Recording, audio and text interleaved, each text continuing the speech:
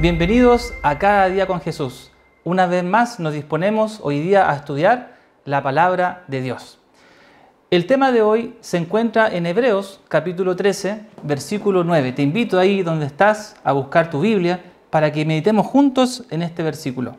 Dice la palabra de Dios, no os dejéis llevar de doctrinas diversas y extrañas, porque buena cosa es afirmar el corazón con la gracia, no con viandas que nunca aprovecharon a los que se han ocupado de ellas.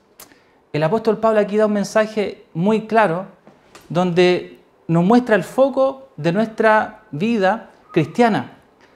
Parte diciendo que no nos dejemos llevar por doctrinas, dice, diversas y extrañas. Una doctrina es una enseñanza, es una instrucción que Dios deja en su palabra.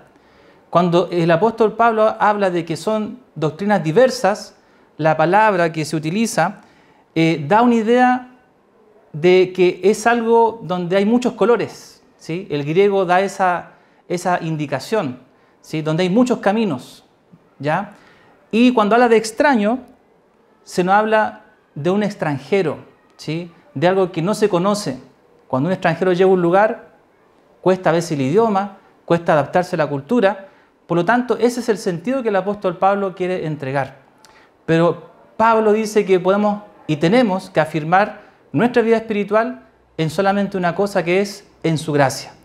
La gracia de Dios es la influencia de Dios sobre el corazón y lo que podemos reflejar en nuestra vida.